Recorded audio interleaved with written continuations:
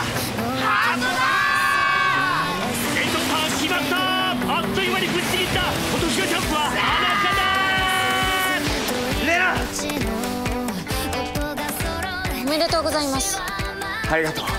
レナおおお俺俺のハートを燃やしてくれたのはレナだったんだ私飯尾さんと結婚するえっハワイで挙式ぶち上げるの。嘘だろ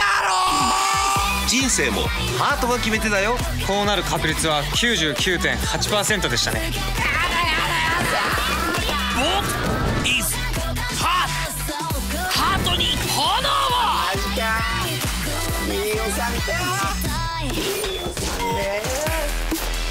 スピーチは